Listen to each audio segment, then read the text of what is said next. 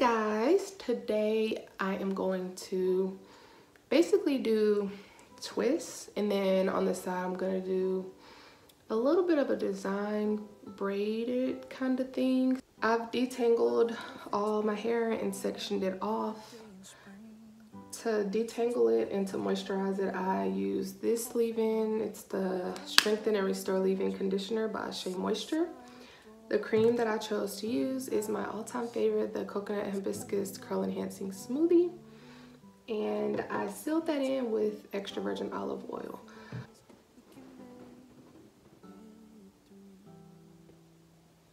I'm going to just do simple two-strand twists. I'm going to apply the argan oil to my hair, so I'll apply it to this entire section and then start twisting. So all the sections have already been moisturized and everything, detangled and all that. So whenever I get to the point where I am two strand twisting, I'm just going to use some warm water that I have in here and the Eco Styler gel, and then that's all I'm gonna have to use.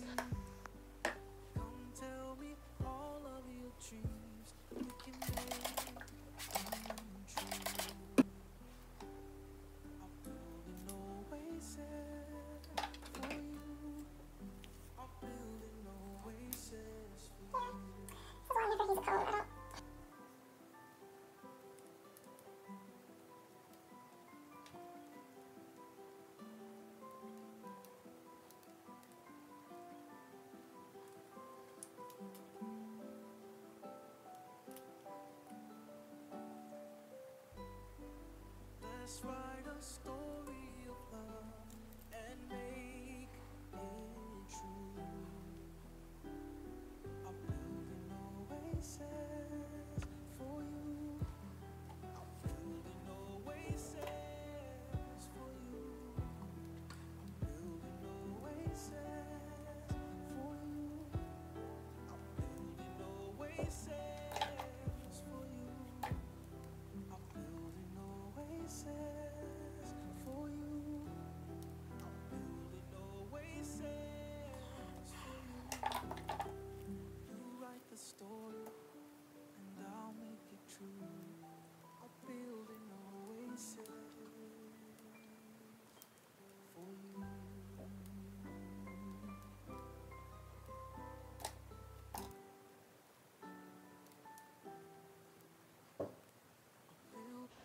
I twisted all my hair that I'm planning on twisting and I honestly did them way smaller than I planned to. I don't know what happened, but they're definitely not mini twists, but they are pretty tiny.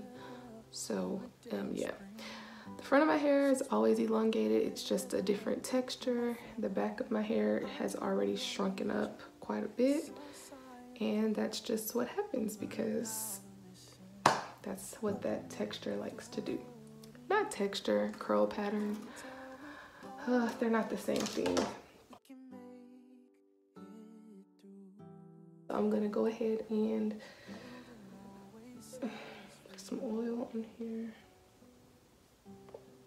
The way that this style works is I'm going to make sections.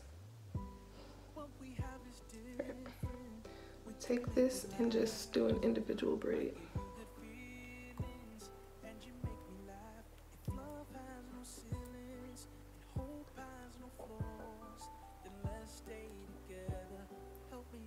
I'm going to take this individual braid and connect it with this hair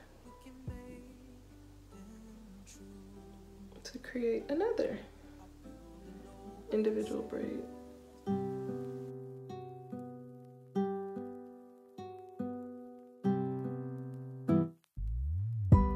What we have is different, we can make it last. I give you good feelings you make me laugh. If love has no ceilings and hope has no flaws, then let's stay together. Help me open up the door to you. Come tell me all of your dreams. We can make